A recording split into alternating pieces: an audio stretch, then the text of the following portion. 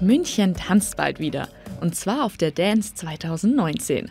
Das elftägige Festival findet vom 16. bis zum 26. Mai statt. Bei der Programmvorstellung am Donnerstag gaben die Veranstalter einen Einblick, was die Münchner erwarten dürfen.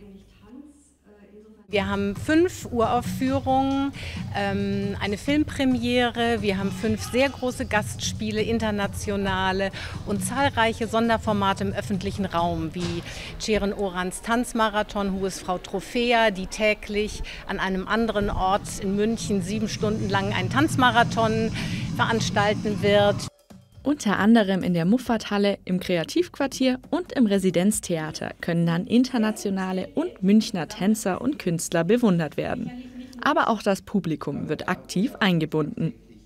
Wir haben da einen Urban Dance Floor, wo angeregt wird zum Mittanzen und Mitmachen. Die Initiativen vor Ort öffnen ihre Türen. Wir haben eine Installation Kanalkonzert, wo es aus den Gullideckeln ähm, schallt. Die History Tour, das heißt, wir fahren mit dem Fahrrad, mit den Fahrrädern durch die Stadt an Orte, an denen schon vor dem Ersten Weltkrieg Tanzgeschichte geschrieben wurde unter dem Aspekt Zukunft braucht Herkunft.